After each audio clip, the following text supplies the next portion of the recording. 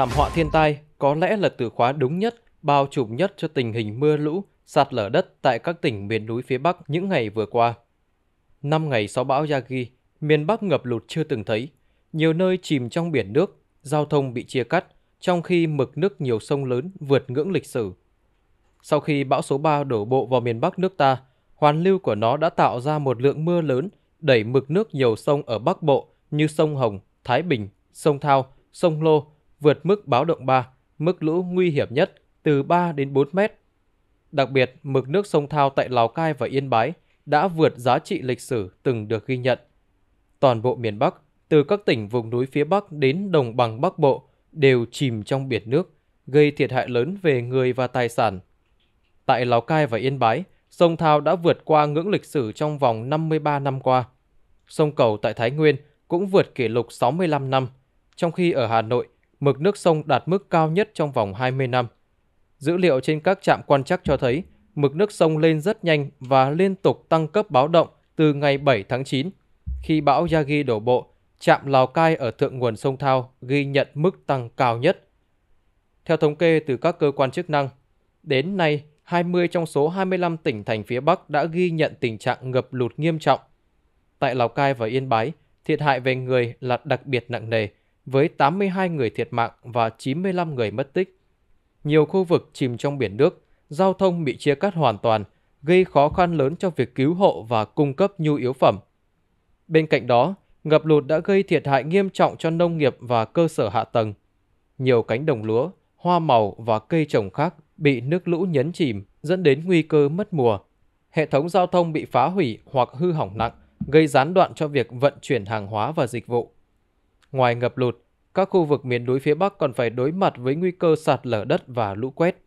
Những khu vực như Lào Cai, Yên Bái, Hà Giang và Thái Nguyên đã ghi nhận tình trạng đất bão hòa nước, làm tăng nguy cơ xảy ra sạt lở dù không còn mưa. Đây là mối nguy hiểm lớn cho các khu vực có địa hình dốc và thảm thực vật yếu, nơi có thể xảy ra lũ quét và sạt lở đất mà không có khả năng dự báo trước. Lũ quét và sạt lở đất là các dạng thiên tai cực kỳ khó dự báo và có thể xảy ra bất cứ lúc nào sau đợt mưa lớn, đặc biệt là khi đất đã bão hỏa nước. Đến thời điểm hiện tại, Lào Cai là một trong những tỉnh chịu ảnh hưởng nặng nề nhất với 82 người thiệt mạng và 95 người mất tích do sạt lở và lũ quét. Các khu vực miền núi phía Bắc như Lào Cai, Yên Bái, Hà Giang, Cao Bằng và Thái Nguyên đều đối mặt với nguy cơ sạt lở và lũ quét do đất đã bão hòa nước sau nhiều ngày mưa lớn kéo dài. Những khu vực địa hình dốc và thảm thực vật yếu trở nên đặc biệt dễ tổn thương, làm tăng nguy cơ thiên tai. Mặc dù lượng mưa đã giảm, nguy cơ sạt lở vẫn rất cao, và các chuyên gia dự báo tình trạng này có thể kéo dài thêm nhiều ngày sau khi cơn bão đi qua. Hệ thống đê điều ở miền Bắc cũng chịu áp lực rất lớn từ bão Yagi, với 25 sự cố được ghi nhận tại 9 tỉnh thành. Các sự cố đê điều chủ yếu xảy ra tại các tuyến đê cấp 4, cấp 5, vốn không đủ sức chịu đựng lượng nước lớn từ các sông. Tại Phú Thọ, 10 mét đê tả sông Lô bị vỡ, gây ra lũ lụt diện rộng tại các khu vực lân cận. Một số tuyến đê khác ở thành phố Thái Nguyên, Hạ Hòa, Phú Thọ, Hữu Bùi, Trương Mỹ, Hà Nội và đê sông Tích thuộc Quốc Oai, Hà Nội cũng gặp sự cố tràn, khiến tình hình ngập lụt thêm nghiêm trọng. Những sự cố này làm gia tăng mức độ nghiêm trọng của ngập lụt và kéo dài thời gian tiêu thoát nước ở các vùng bị ảnh hưởng. Theo báo cáo của Bộ Nông nghiệp và Phát triển Nông thôn, hệ thống đê tại đồng bằng Bắc Bộ hiện chưa đạt yêu cầu về mức độ chống lũ. Nhiều đoạn đê trên sông Hồng và sông Thái Bình thấp hơn mức thiết kế, không thể ngăn chặn nước tràn từ các con sông lớn, nhất là khi nước từ thượng nguồn đổ về quá nhanh và mạnh. Tại tỉnh Ninh Bình đã phải sơ tán hơn 1.000 hộ dân tại các huyện Gia Viễn, Nho Quan khi nước sông Hoàng Long dâng lên mức báo động cao nhất. Ngoài ra còn rất nhiều tỉnh phía hạ lưu các dòng sông cũng đã và đang ở trong tình trạng cảnh báo nguy hiểm như Thái Bình, Nam Định, Thanh Hóa. Mặc dù lượng mưa lớn có xu hướng giảm dần từ ngày 12 tháng 9, nhưng tình trạng ngập lụt vẫn chưa thể giải quyết ngay lập tức. Nước từ thượng nguồn tiếp tục dồn xuống hạ lưu, làm cho quá trình tiêu thoát nước diễn ra chậm, đặc biệt tại các khu vực trũng thấp và đô thị như Hà Nội, Bắc Giang. Các chuyên gia dự báo rằng tình trạng ngập lụt sẽ còn kéo dài thêm từ 2 đến 3 ngày nữa, gây nhiều khó khăn cho cuộc sống của người dân và việc khôi phục cơ sở hạ tầng. Nguyên nhân chính dẫn đến đợt ngập kỷ lục này là do lượng mưa khổng lồ do cơn bão Yagi mang lại. Bão số 3, tên quốc tế là Yagi, được xem là cơn bão dị thường đã tạo ra lượng nước khổng lồ chút xuống vùng núi phía Bắc. Các số liệu thống kê cho thấy đợt mưa năm nay phổ biến ở mức 150 đến 300 mm, vượt qua giai đoạn mưa lớn nhất từng được ghi nhận sau bão Hagupit năm 2008. Tại 83 trên 84 trạm đo, lượng mưa cao hơn 4 đến 6 lần so với trung bình nhiều năm trong 10 ngày đầu tại tháng 9. Điển hình tại trạm Sapa, Lào Cai ghi nhận 517 mm, cao hơn 440%. Lục Yên, Yên Bái 503 mm, cao hơn 461%. Định Hóa Thái Nguyên 545 mm, cao hơn 677%. Sơn Động, Bắc Giang 386 mm, cao hơn 488% so với trung bình nhiều năm cùng thời kỳ. Vùng núi Bắc Bộ là nơi có nhiều hồ chứa thủy điện lớn, bao gồm hồ Sơn La, Hòa Bình, Thác Bà và Tuyên Quang, với tổng dung tích phòng lũ lên tới 8,5 tỷ mét khối.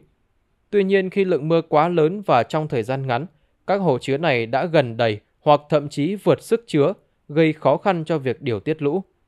Tại hồ Thác Bà, ngày 10 tháng 9, lượng nước về hồ vượt xa lượng nước xả. Dù sau đó lượng nước giảm, áp lực tại hồ vẫn duy trì ở mức cao, tạo ra nguy cơ lũ lớn cho các khu vực hạ lưu.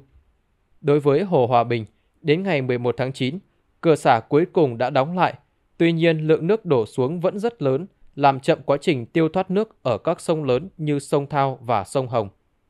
Ngoài yếu tố lượng mưa và việc điều tiết nước hồ chứa, hệ thống đê điều ở miền Bắc cũng là một trong những nguyên nhân quan trọng dẫn đến tình trạng ngập lụt nghiêm trọng.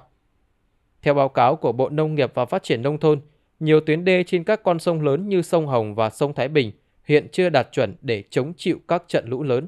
Hệ thống đê sông Hồng lẽ ra phải chống được mực nước lũ 13,1 m tại Hà Nội, nhưng hiện tại còn khoảng 80 km đê thấp hơn tiêu chuẩn từ 0,4 đến 0,7 m. Tại vùng cửa sông, một số đoạn đê thấp đến 1 m. Đối với sông Thái Bình, mực nước thiết kế tại phả lại phải đạt 7,2 m, nhưng có đoạn đê thấp hơn từ 0,3 đến 0,8 m. Khi lượng nước từ thượng nguồn đổ về quá lớn, những đoạn đê này không thể ngăn chặn nước tràn, gây ra lũ lụt trên diện rộng. Ngoài những yếu tố kể trên, thì biến đổi khí hậu cũng đóng vai trò quan trọng trong việc tạo ra các hiện tượng thời tiết cực đoan, trong đó có đợt mưa lớn do bão Yagi. Biến đổi khí hậu làm gia tăng tần suất và cường độ của các trận bão, tạo ra lượng mưa lớn và dồn dập trong thời gian ngắn, gây lũ lụt nghiêm trọng. Các chuyên gia khí tượng cảnh báo rằng đợt mưa bão này là một dấu hiệu rõ rệt của biến đổi khí hậu và các hiện tượng tương tự có thể xảy ra thường xuyên hơn trong tương lai. Các tỉnh miền núi phía Bắc hứng chọn cơn bão Yagi, thiệt hại về tài sản là rất lớn, nhưng thiệt hại về người là không nhiều. Tuy nhiên, đến khi hoàn lưu bão Yagi hoạt động mạnh, gây mưa lớn, kết hợp nhiều hồ chứa thủy điện xả lũ, thì khi ấy, thiệt hại về tài sản đã không còn có thể đo đếm được. Còn nỗi đau về thiệt hại người cứ thế tăng lên theo từng giờ. Tính đến trưa ngày 13 tháng 9, đã là hơn 200 người thiệt mạng và mất tích, chưa kể có hàng trăm người bị thương. Mức độ nghiêm trọng của mưa lũ lần này là một hồi chuông cảnh báo về việc ứng phó với biến đổi khí hậu, yêu cầu có biện pháp ứng phó khẩn cấp để đảm bảo an toàn cho người dân và giảm thiểu thiệt hại trong tương lai. Theo như dự báo của các cơ quan chức năng, mưa lớn ở các tỉnh miền Bắc có xu hướng giảm dần, tuy nhiên vẫn có một số điểm mưa to. Mực nước tại hầu hết các trạm đo trên sông dự kiến sẽ giảm, trừ trạm Bến Đế, sông Hoàng Long, tỉnh Ninh Bình sẽ tăng nhẹ. Mưa giảm nhưng lũ trên các sông sẽ xuống chậm do lượng nước tích tụ lớn từ đợt mưa trước, dẫn đến nguy cơ ngập lụt kéo dài ở vùng hạ lưu, đặc biệt khu vực trũng thấp và đô thị.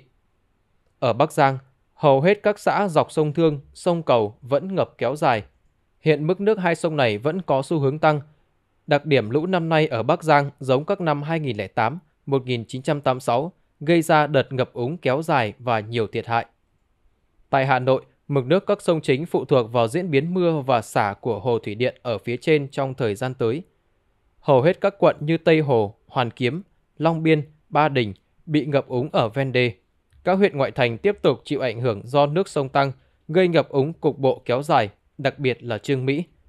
Nguy cơ lớn nhất hiện nay ở các tỉnh phía Bắc là sạt lở. Lượng mưa trên vùng núi hiện giảm rất nhiều so với trước, nhưng những ngày qua, khắp miền núi, đặc biệt là Lào Cai, Yên Bái, Hà Giang, Cao Bằng, Thái Nguyên, mưa rất lớn và kéo dài. Đất gần như đã bão hòa với nước, nguy cơ xảy ra sạt lở rất cao, kể cả khi trời ngừng mưa. Trong khi lũ quét và sạt lở đất là diện thiên tai cực kỳ khó dự báo, việc cảnh báo chỉ trước 3 đến 6 tiếng, dự báo mưa sẽ mở rộng xuống Thanh Hóa, Nghệ An, nên nguy cơ lũ quét, sạt lở cũng sẽ xảy ra ở khu vực này trong những ngày tới. Mưa giảm dần, các thủy điện đóng dần cửa xả, lũ lụt trên các sông rồi cũng sẽ phải rút. Dẫu đó là câu chuyện của những ngày tới, nhưng việc khắc phục hậu quả sau mưa lũ, lũ ống, lũ quét, sạt lở lại cần phải được tính đến ngay từ bây giờ. Nhìn từ thực tế ngập lũ trên diện rộng ở nhiều bản làng, nhiều xã, phường, nhiều huyện thị ở các tỉnh miền núi phía Bắc.